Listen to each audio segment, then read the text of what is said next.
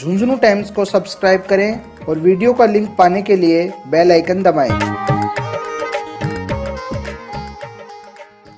धरती के भगवान चिकित्सकों ने बचाई छह दिन के नवजात की जान। छह दिन के नवजात की एक्सचेंज ट्रांसफ्यूजन कर बचाई जान। प्रदेश में एक्सचेंज ट्रांसफ्यूजन करने वाली बनी दूसरी सीएससी। चिकित्सकों को धरती के भगवान की संज्ञा यूँ ही नहीं दी जाती है। वो अपने कार्यों से भगवान का दर्जा प्राप्त करते हैं। कुछ इस प्रकार की हकीकत सूरजगढ़ सीएससी में नज़र आई, जहाँ के शिशु रोग विशेषज्ञ डॉक्टर हरेंद्र धनखड़ व उनकी चिकित्सीय टीम ने एक छह दिन के नवजात ब्लड एक्सचेंज ट्रांसफ्यूजन करते हुए उसकी जान बचाई है। सूरजगढ़ सीएससी प्रदेश की दूसरी सीएससी बनी है, जिसमें एक्सचेंज ट्रांसफ्यूजन कर नवजात की जान बचाई गई हो। आपको बता दें कि सूरजगढ़ के निकटवर्ती गाँव कुम्हारों के बास गाँव के राजवीर की पत्नी सपना ने छह दिन पूर्व ब्लॉक की काजड़ा पीएससी में प्रसव कराते हुए लड़के को जन्म दिया था। शुक्रवार को नवजात मासूम की तबीयत खराब होने पर परिजन उसे लेकर सूरजगढ़ सीएससी आए। सूरजगढ़ सीएससी में शिशु रोग विशेषज्ञ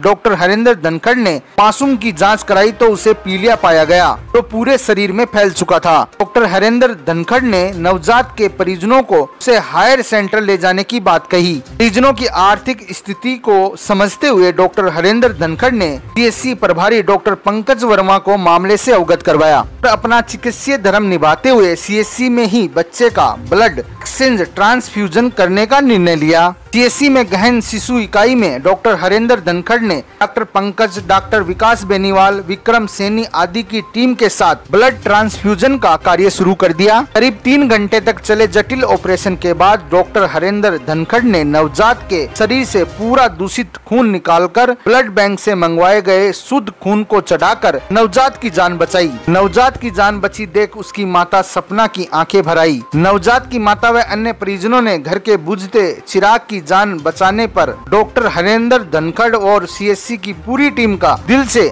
धन्यवाद दिया और आभार जताया। तो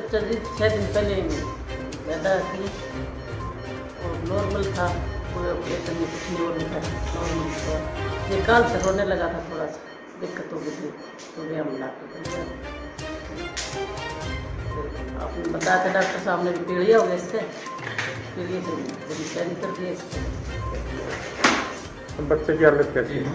बच्चा ठीक है।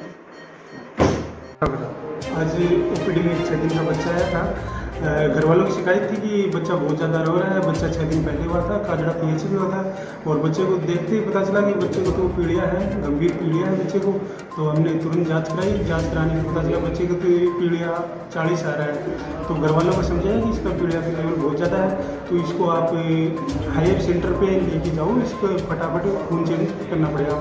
तो घर वालों ने इस चीज़ को समझता चाहिए तो हमने सोचा कि उन्हें अपने ही जो न्यू बोर्न स्टेबलाइजेशन यूनिट है उसी में एक्सचेंज कर देते हैं तो अपने खंड स्तर पे ये पहला एक्सचेंज ट्रांसफ्यूजन है। इसको एक्सचेंज ट्रांसफ्यूजन बोलते हैं डबल बोल में एक्सचेंज ट्रांसफ्यूजन तो हमने तुरंत ब्लड की व्यवस्था की और कुछ सामान हम खुद ही बाहर से लेके आए और कुछ सामान भी अपने हॉस्पिटल के अंदर था और खून तुरंत ही बच्चे का खून बदला गया। इस प्रोसीजर में तीन घंटे लगे हैं।